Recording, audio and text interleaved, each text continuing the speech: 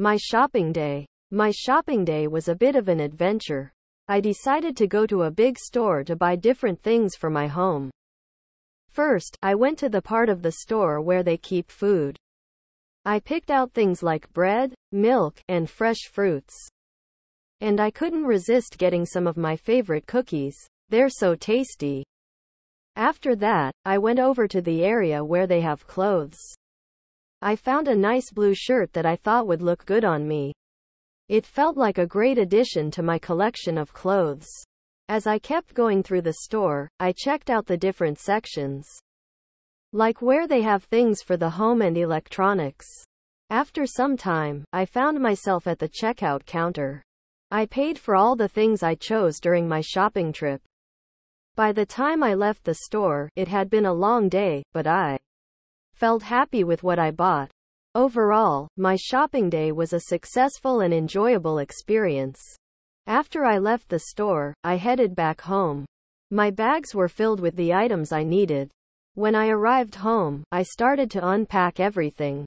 I neatly arranged the groceries in the kitchen. And I hung up my new blue shirt in the closet. My shopping day was a bit of an adventure. I decided to go to a big store to buy different things for my home. First, I went to the part of the store where they keep food. I picked out things like bread, milk, and fresh fruits. And I couldn't resist getting some of my favorite cookies. They're so tasty. After that, I went over to the area where they have clothes. I found a nice blue shirt that I thought would look good on me. It felt like a great addition to my collection of clothes. As I kept going through the store, I checked out the different sections.